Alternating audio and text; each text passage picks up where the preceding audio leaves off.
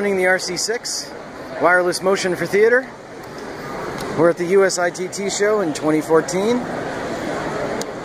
And this platform is demonstrating our control technology. We built the platform as a sample. The concept is you'll build your own platform using something as simple as motors and batteries from an electric wheelchair you might buy used.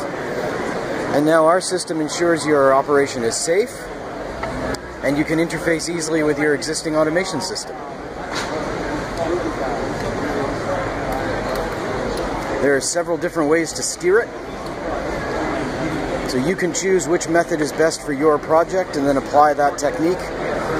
This particular piece is a bit more complicated because we've tried to demonstrate several different methods all in one design.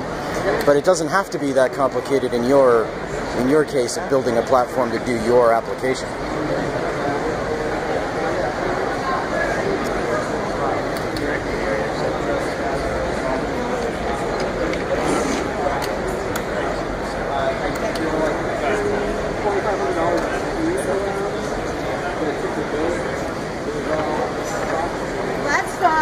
Sure is.